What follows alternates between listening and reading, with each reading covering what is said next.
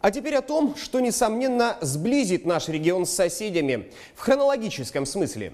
На этой неделе в ходе майской сессии депутаты законодательного собрания одобрили перевод стрелок в Новосибирской области на час вперед. Перед принятием решения вопрос исследовали всесторонне.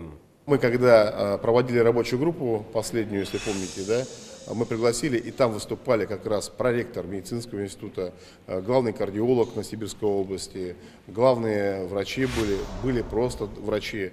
И они, в общем-то, дали как раз такое положительное заключение. Всего изучали вопрос перехода в другой часовой пояс 24 научно-исследовательских организации. И 23 из них рекомендовали утвердить четырехчасовую разницу с Москвой. Масштабный соцопрос населения показал согласие 80% новосибирцев на перевод стрелок. В итоге окончательное решение за депутатами Государственной Думы. Ориентировочно настроить часы на новое время в нашем регионе 3 июля.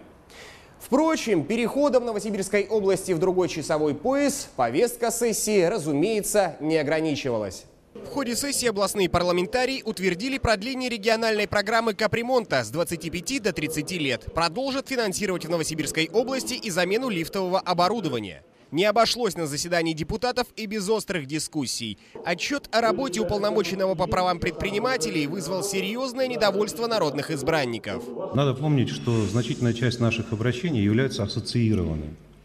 То есть за одним обращением может стоять 10-20 предпринимателей или целая отрасль. Парламентариев возмутила слабая поддержка предпринимателей в судебных инстанциях. То, что сегодня услышал я, да я думаю, что и многие мои коллеги, это доклад начальника отдела статистики, не более того. Ничего с предпринимательством близко нету. А, я не знаю, как оценят вашу деятельность сейчас депутаты голосованием, а, но то, что услышал я, и Зазуля резонные вопросы задает, так сказать, ну что такое там, если судебное решение, да, в день судятся по пять судов, и все нормально.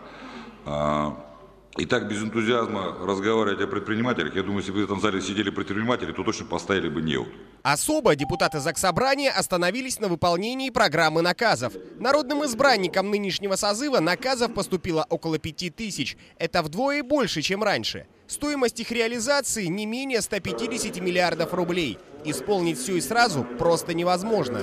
Работа следующая. Утвержден сегодня эта программа, а дальше она будет следующим образом, механизм реализации. Каждый год при утверждении бюджета будет вноситься коррективы, во-первых, федера... нашей государственной программы, чтобы тот наказ, который попадает в зону исполнения с точки зрения исполняемости, был включен в эту программу. Большая часть обращений избирателей связана с ЖКХ, сферой образования и строительством дорог.